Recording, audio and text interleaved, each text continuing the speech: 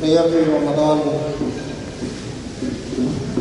be blessed upon you and upon the Muslim Ummah and upon humanity. Allah tells us إن أنزلناه في ليلة القدر وما أدراك ما ليلة القدر ليلة القدر خير من ألف شهر تنزل الملائكة والروح فيها بإذن ربهم من كل أمر سلام هي حتى مطلع الفجر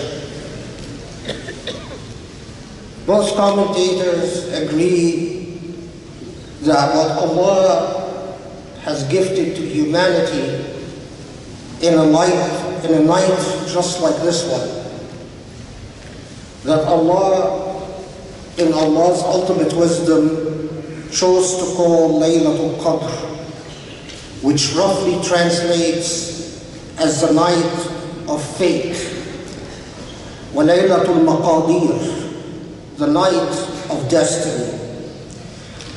That Allah has chose a night just like this one to bless humanity with the gift of the Quran. It is a gift to humanity because it is the ultimate companion to all that is good and righteous and beautiful.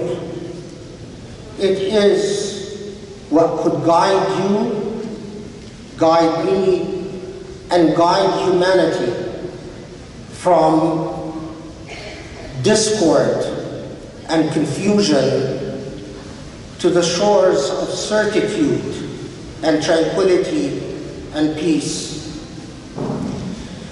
Allah chose to call Laylatul Qadr, to describe Laylatul Qadr as better than a thousand months.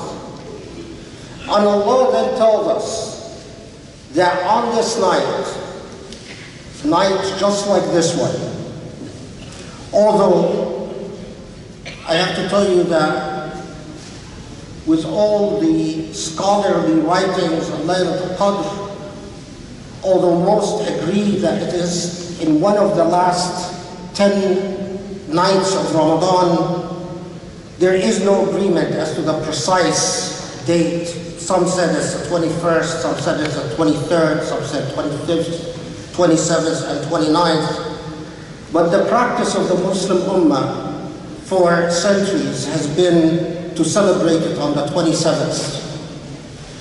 And we celebrate it symbolically, taking account of the fact that Allah tells us that on a night just like this one, this heavens become full with angels, with malaika. And these malaika come with something that Allah describes as a ruh, roughly translated as a spirit, a celestial power, whether it is an angel of a higher force or whether it is the essence of mercy or compassion or even the essence of the Dhat al the essence of what the divine is and will always be. Whatever it is, the malaika come down with the ruh, the celestial power, the power of forgiveness and the power of mercy and the power of love. In doing so, Allah reminds us of something that is very essential and basic. We remember nothing about where we come from. And we live in this earth easily distracted by material things and physical things.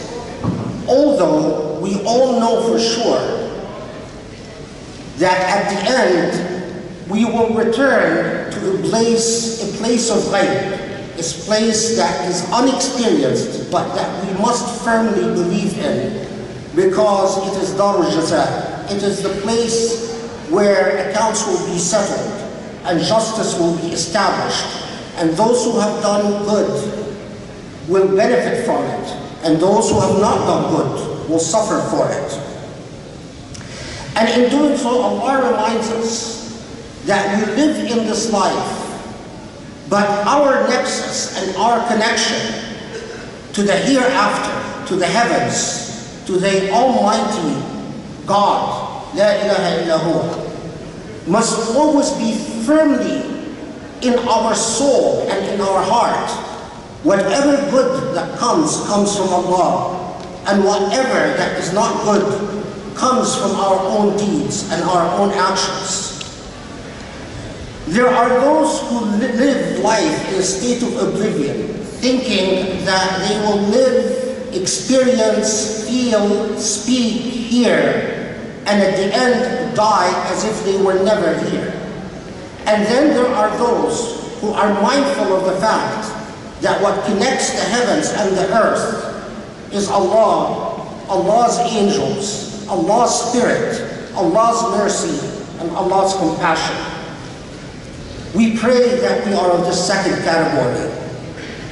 As Allah truly describes the first group, they are born seeing, but they blind themselves, and they walk through life as if blind, and leave this earth still blind.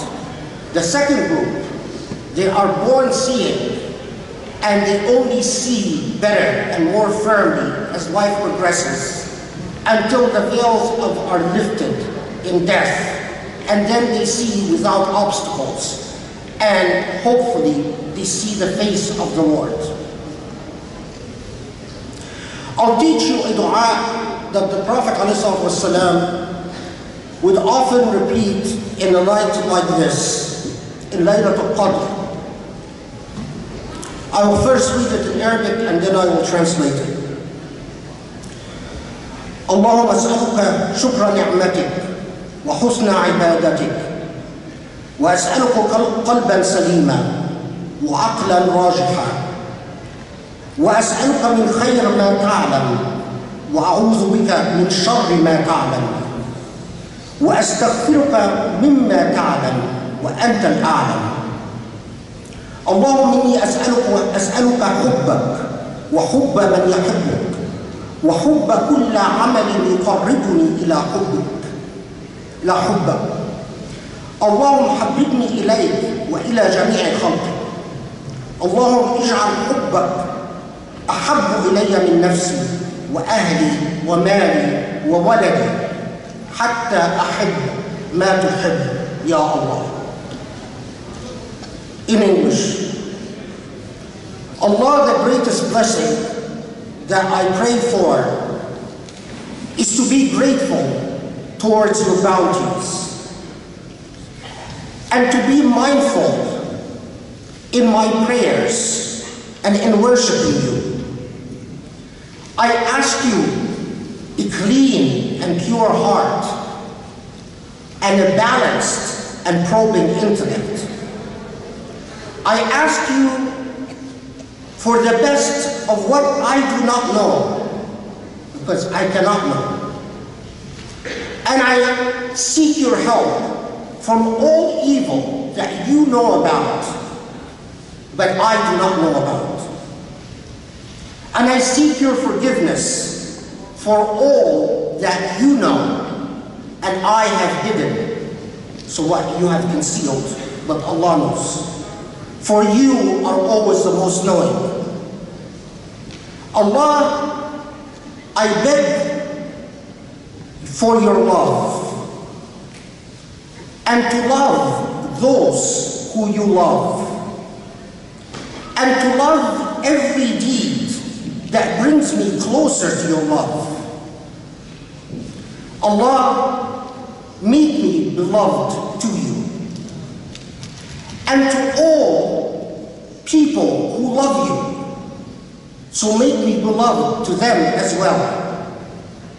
Allah, I beg you to make your love, to make your love more beloved to me than myself, my family, my money, and my children. Until, Ya Allah, I reach a point where I can only love what you love.